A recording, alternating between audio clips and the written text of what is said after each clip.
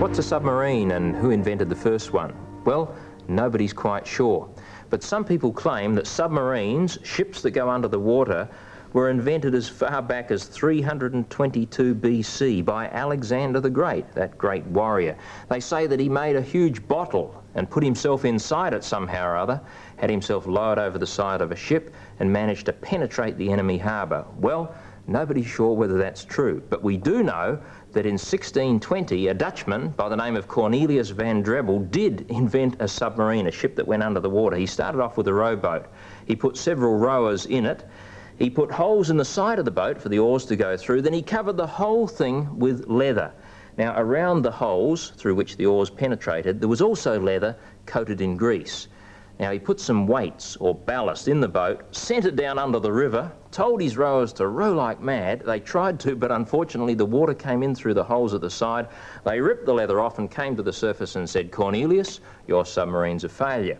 However, in 1776, an American by the name of David Bushnell successfully made and demonstrated a one-man submarine called the Turtle.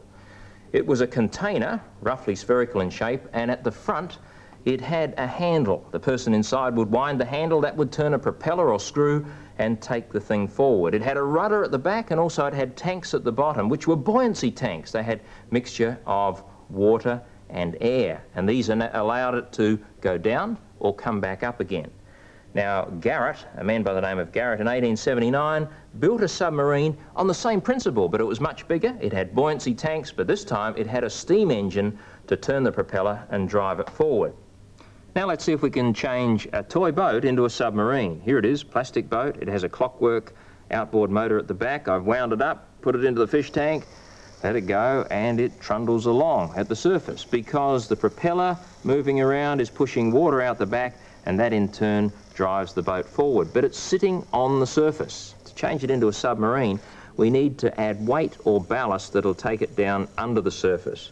What I'll use is this big lump of plasticine or modelling clay. We'll put it underneath the hull there and attach it by means of a large rubber band. Now let's see what that does. Well, it takes it down further, but it's still not quite under the surface. I've made a hole at the back of the hull and I know that if I hold it under here and shake it around a bit, see those air bubbles coming up? That means air's coming out, water's going into the hull. And now, yes, look at that. Now the plasticine plus the water that's in the hull is making it sit just under the surface. So it is a submarine. So I'll wind up the electric motor once again, the clockwork motor I should say, and we'll see if it can move along as a submarine under the surface. Yes, there it is, it's moving along. More slowly than before because there's more resistance from the water than there was from water and air before, but it's now operating as a submarine.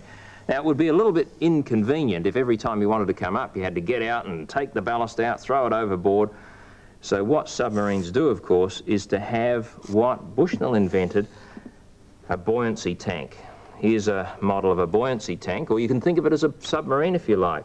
It's a soft drink bottle that has a mixture of water and air, and I've adjusted the amount so that it sits at the surface.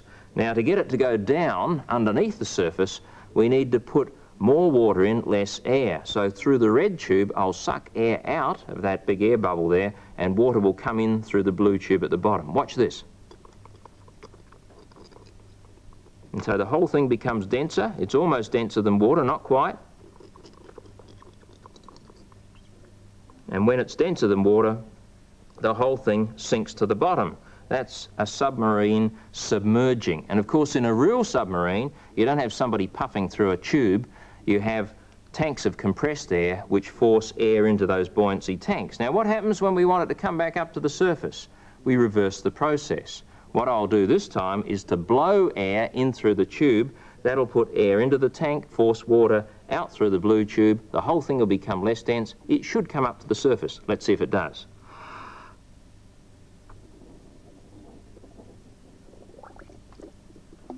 Sure enough, our submarine rises to the surface. And as I said before, this buoyancy tank idea is used in all sorts of things. Not only the modern submarines, not only nuclear-powered submarines, but also it's used by scuba divers as well. They have buoyancy tanks that allow them to go down and up again. So that's a little bit about submarines.